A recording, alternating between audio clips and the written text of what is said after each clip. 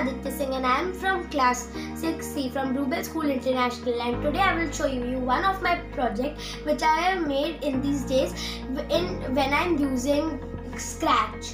So our teacher was K. Revant sir which who was a humble teacher and he taught us many projects. So let me show you one of my best project. So this is my project. Let me play this game. This game works on arrow keys. Let's start. Music. So I have got this answer. It's saying thank you to me. I have to help him and not fall him in the not let him fall in the water. So like this, you can even make games on Scratch and and our sir was very uh, very kind to us and even I loved uh, things on Scratch.